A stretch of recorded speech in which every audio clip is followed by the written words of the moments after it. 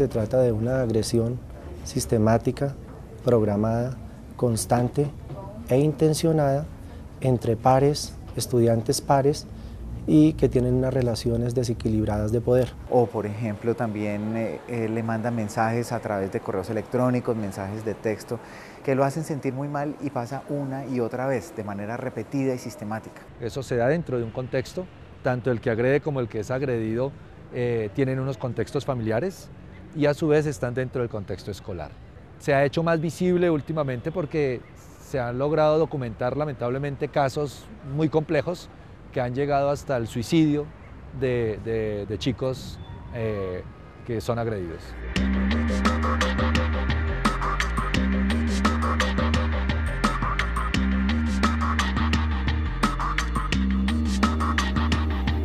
Este término se empieza a trabajar en las escuelas primarias de los Estados Unidos comenzando la década de los 90, donde posteriormente se empezaron a analizar una serie de expresiones violentas, masacres, homicidios, etcétera, en las instituciones educativas norteamericanas.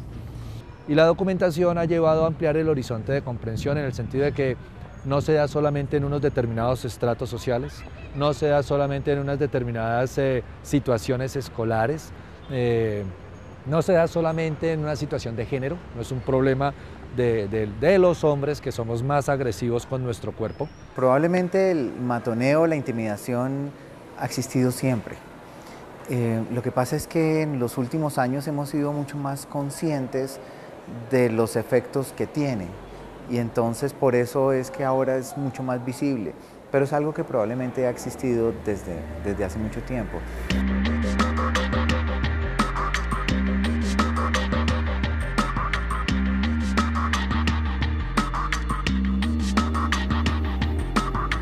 Víctimas son algunos que tienen alguna condición de, debilidad frente al grupo. Por ejemplo, que tienen menos amigos o que son más pequeños o que son nuevos en, el colegio eh, y no tienen un grupo que los apoye. Estamos hablando que los estudiantes, tanto victimarios como víctimas como potenciales testigos, deben recibir una atención de un grupo interdisciplinario de trabajo estos son los maestros, las personas, los psicólogos, psicólogas, terapeutas, los directivos docentes, los directores de grupo y desde luego los mismos compañeros que deben trabajar en torno a reconstruir el tejido social al interior de las aulas, a trabajar fuertemente el tema de la empatía y de la asertividad. El victimario por lo general son muchachos o muchachas de condiciones fuertes, son populares, de gran carisma, y por lo general en los años anteriores han sido víctimas del bullying, es decir, tenemos una, un ciclo vicioso en el cual la víctima potencialmente se convierte en victimario. De esta manera es importante trabajar un acompañamiento interdisciplinario, como lo dije anteriormente, tanto como con víctimas como con victimarios, pero también con los testigos que ven la intimidación, y justamente la reacción de esos testigos es la piedra angular para la resolución de este tipo de problemas.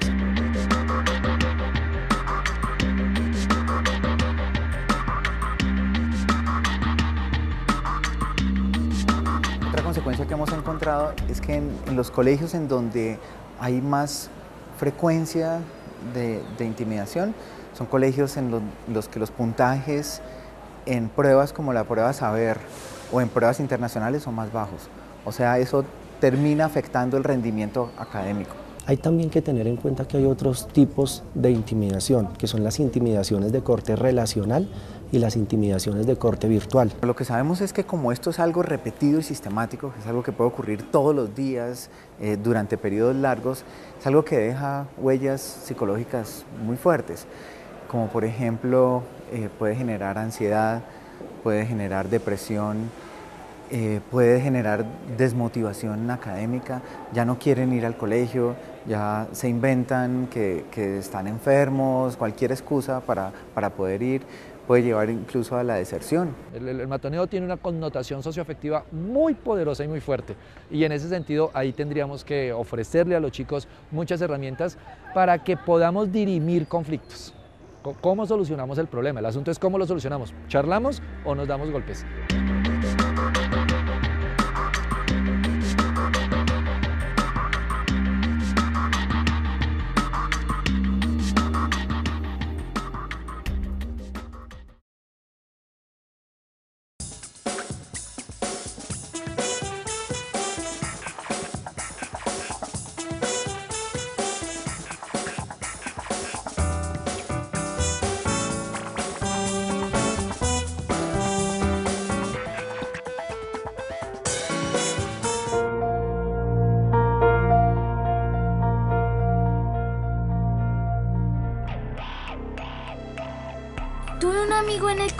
Se llamaba Cristian.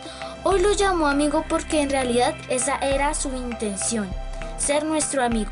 Era un tipo enorme y como era enorme, todos pensábamos que era un lentejo. A sus espaldas decíamos que tenía un hámster en el cerebro, porque decíamos que no era capaz de pensar como nosotros. El niño víctima de matoneo progresivamente comienza a vivir la situación de agresión en su contra. ¿Cómo la comienza a vivir? Mm, básicamente eh, se hace la agresión no necesariamente debe ser física en un principio, sino de intimidación, de amenaza. El, el estudiante o el compañero que ejerce o el grupo que ejerce ese tipo de violencia lo hace por medio de intimidación hasta llegar, si es necesario, a la violencia física. Como comienza con la intimidación, el que es víctima de matoneo le da miedo expresarse. ¿Por qué le da miedo expresarse? Porque eh, es amenazado, es una de las formas pues, más común, es amenazado si habla o si, o si cuenta más duro le voy a dar, o voy atento en contra suya, o lo hago quedar mal con los compañeros, etc. Eh, no habla tampoco porque siente miedo de expresarse, va a ser, eh, se va a sentir como si fuese eh, tratado como alguien que no es capaz de afrontar sus problemas. Entonces no quiere sentirse de esa manera, por eso calla, es preferible callar. Eh, en algunos casos, en la misma comunidad educativa o, en la casa, ese tipo de, situación es castigada. Entonces si él cuenta, es tratado como alguien de menor valor, entonces es tratado como el tonto de la clase, el tonto de la casa. Entonces siente también ese miedo y ese temor y no lo expresa, por presión social, presión familiar o presión de cualquier otro tipo. Básicamente por eso no lo hace. Yo entré a un nuevo colegio en quinta de primaria. Allí tenía varios amigos de tiempo atrás y eran por supuesto los niños populares del curso, porque el grupo más o menos 40 estudiantes estaba dividido en varios subgrupos. Lógicamente, la estratificación la hacíamos mis amigos y yo. Así estaban. Las zapitas, los nerds y nosotros. Nos encantaba ponerles apodos, inventar canciones y básicamente hacerles la vida imposible. El adolescente que es víctima de matoneo, pues presenta varias características, ¿no? que son el resultado de ese tipo de violencia. ¿Cuáles pueden ser? El aislamiento es una, ¿cierto? El miedo, que es un tipo de violencia extrema. Eh, el, bajo rendimiento escolar es otro tipo de, situación que se presenta.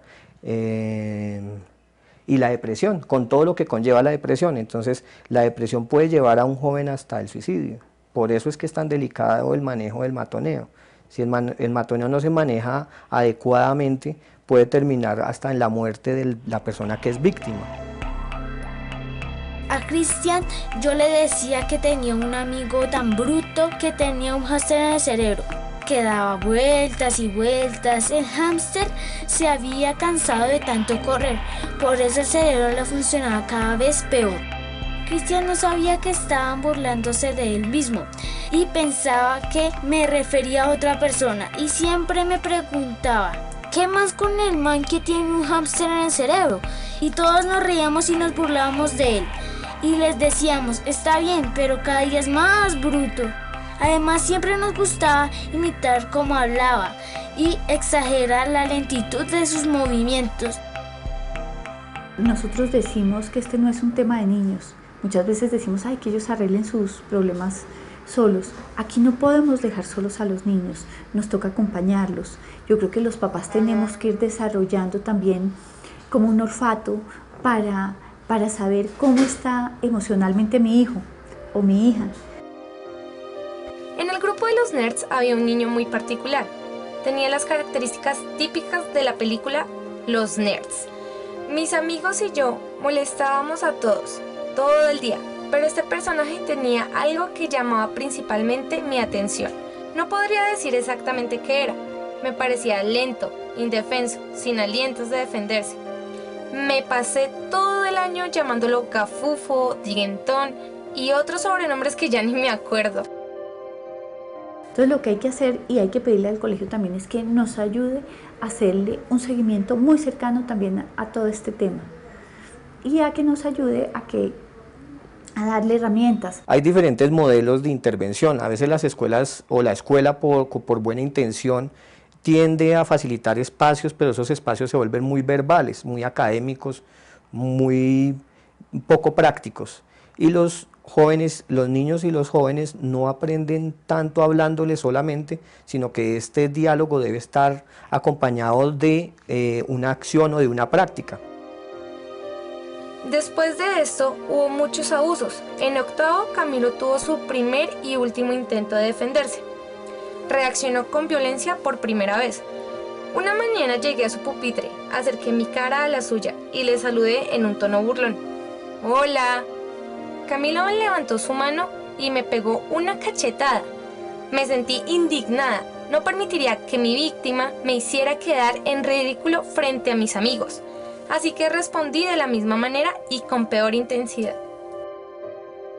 Las principales cosas desde la parte preventiva es, por ejemplo, eh, educar a unos niños que sean mucho más empáticos, que se duelan con el dolor del otro, eh, también, por ejemplo, que tengan pensamiento crítico, educar unos niños más asertivos.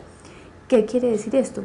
Que aprendan a decir que no con firmeza, pero sin agredir. Lo ideal es acudir a un experto que sepa orientar eh, la necesidad de acuerdo a la, a, la, a, la, a la situación particular que está viviendo bien el niño o bien la escuela. ¿A qué me refiero? Eh, no se puede generalizar la situación de matoneo mm, porque se presente en diferentes ambientes académicos o, escolares.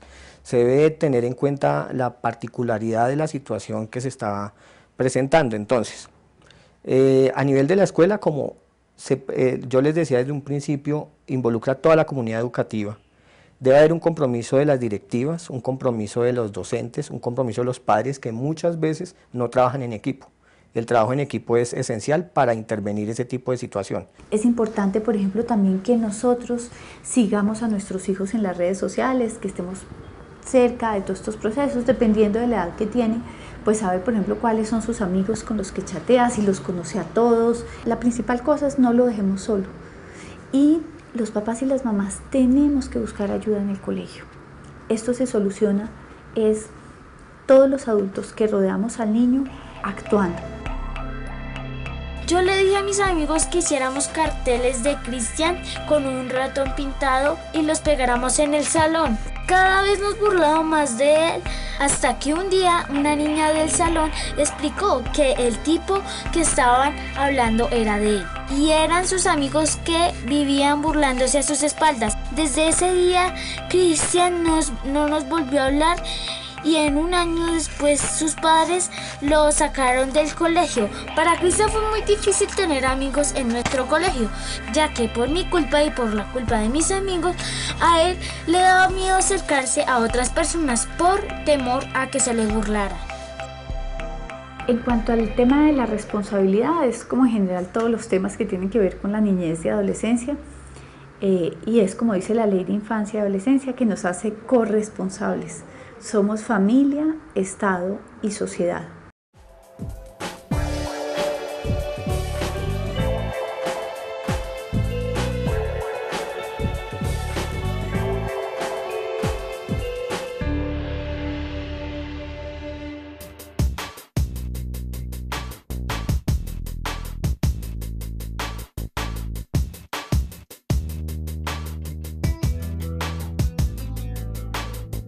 Yo llegué a Estrella del Sur porque trabajé en el 2007 como asistente de investigación de un proyecto educativo que se llevó a cabo en la institución educativa distrital Estrella del Sur.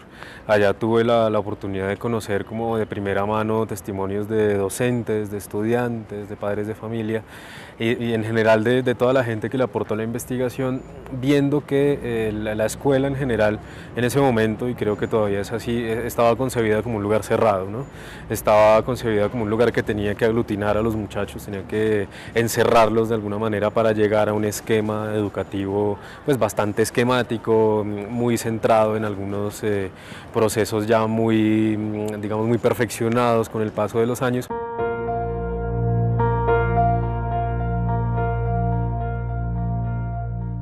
Pero en el proceso me di cuenta que quería más eh, centrarme en los dramas o centrarme en las relaciones humanas entre los jóvenes, entre los muchachos y sus maestros, en que hacer una reflexión, digamos, sobre la escuela como lugar o sobre el barrio como lugar, porque em, creo que uno no debe considerar la escuela o el colegio o el lugar donde uno se, educa o se forma como un lugar em, encerrado, como un lugar cuadriculado, sino que tiene que que tener en cuenta un montón de cosas eh, a nivel humano, a nivel eh, emocional, que, muchas veces se, se, dan por entendidas y que afectan a los profesores y a los estudiantes por igual.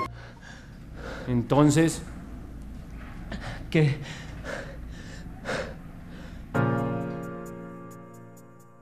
Estos peladitos lo único que quieren es irse de aquí a hacer tonterías porque ni siquiera tienen plata para pagar un estudio.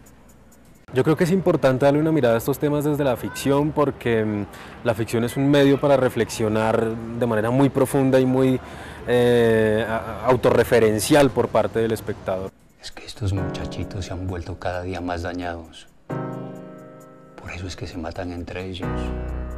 Por eso matan al que se les dé la gana. Y tras del hecho se enojan porque uno quiere corregirlos. No se involucre vale la pena, profesora. Entonces creo que es importante desde la ficción entender los dramas de la gente, entender eh, la situación emocional de la gente y ver que las personas somos eh, complejas.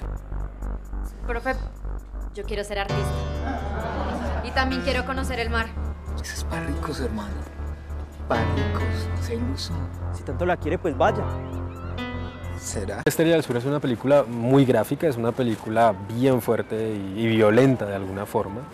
Eh, por lo que yo no estaría así como muy autorizado para hablar de cómo hablar de, violencia sin mostrar la violencia, pero sí creo que el gran problema que tienen los medios de comunicación actualmente es que se están olvidando de la dimensión humana que tanto pues, ya, ya he insistido y están haciendo ver que el mundo es de buenos y de malos y en general pasa en los noticieros, en las novelas, en las series, siempre el mundo es de buenos y de malos y se olvidan de que los buenos y los malos tienen sus momentos también hacia el otro extremo.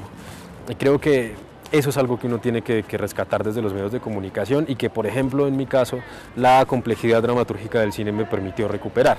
En mi película hay buenos, hay malos, hay amigos de los buenos, amigos de los malos, pero tratamos de entender por qué los malos son malos y por qué los buenos son buenos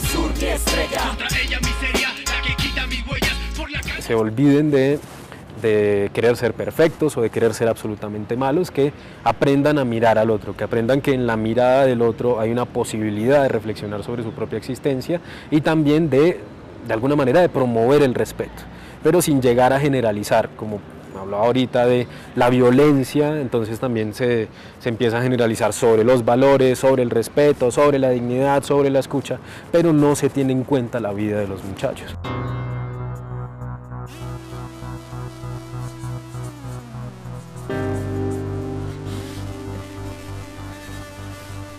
Estoy hablando con ella, ¿algún problema?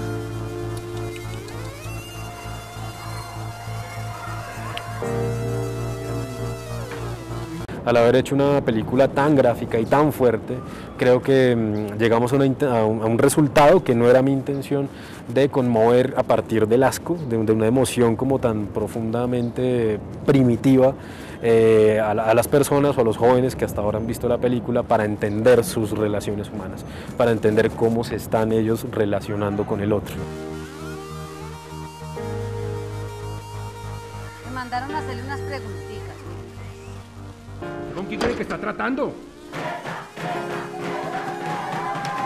llegar a esos puntos que la televisión, por ejemplo, no está mostrando, eh, del cómo lo mataron o de cómo lo agredieron y ver que es algo que realmente es malo, que realmente es fuerte, que realmente desde lo emocional está afectando al otro, es una buena terapia de choque, por ejemplo, para los jóvenes de ahora y también para los padres.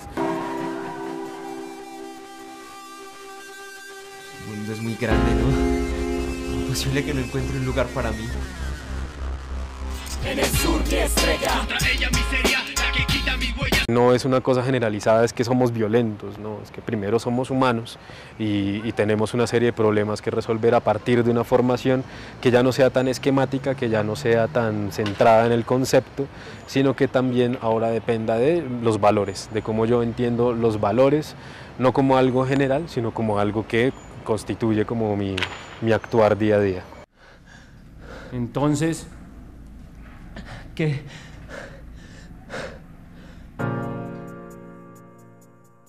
Dos peladitos lo único que quieren es irse de aquí a hacer tonterías porque ni siquiera tienen plata para pagar un estudio.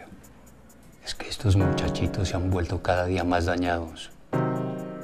Por eso es que se matan entre ellos. Por eso matan al que se les dé la gana. Y tras del hecho se enojan porque uno quiere corregirlos. No se involucre. No vale la pena, profesora. Profe, yo quiero ser artista. Y también quiero conocer el mar. Eso es para ricos, hermano. Para ricos, no sea iluso. Si tanto la quiere, pues vaya.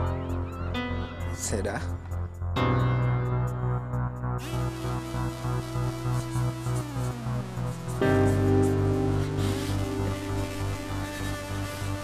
¿Estoy hablando con ella? ¿Algún problema?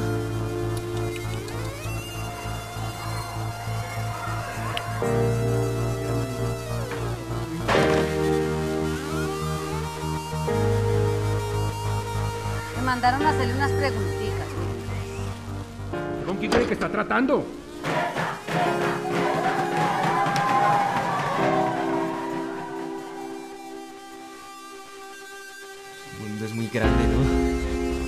¿No? Imposible que no encuentre un lugar para mí.